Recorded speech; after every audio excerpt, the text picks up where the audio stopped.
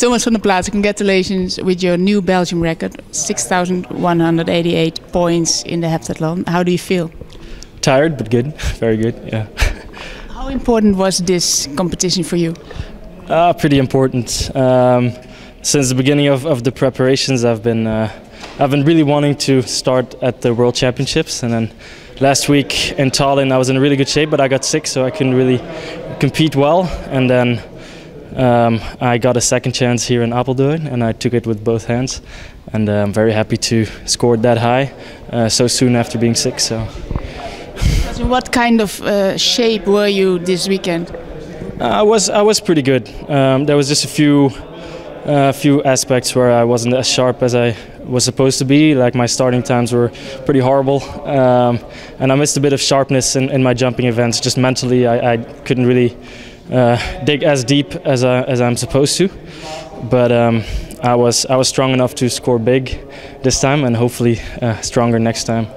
Yeah. How was it to compete with Eelco Sint-Nicolaas and Trey Hardee in one competition here?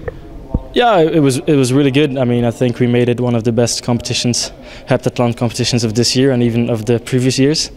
Um, and I'm, I'm a really competitive person, so when I got on the track with those two guys, um, we were good friends as well. So we just competed against each other and, and cheered each other on to to very good performances, and it was a fun weekend. Uh, you, you, improved your own Belgian record with about 100, 160 points.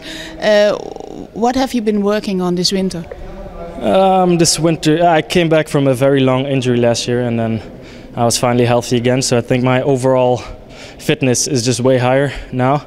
I'm way stronger, and I'm I'm very consistent as well. Like my long jump has been, I jumped 775, 78 this weekend. My shot put's been improving. Um, pole vault's been very steady as well this winter. So I think just overall my fitness level and just my techniques are a bit better than what they used to be, and that's why I think I'm, I can I can score pretty well this indoor. You can go to the World Championships indoor. What will you be aiming for? Ah, well, um, I'm definitely hoping I can go. Um, I think I'm second on the world indoor list right now, so that should be enough. Um, so if I if I do get to Poland, uh, I'm hoping to get as close to 6,300 as possible, or even over. I don't know, and then hopefully be aiming for a medal. Yeah. Thank you very much. Good luck. Thank you.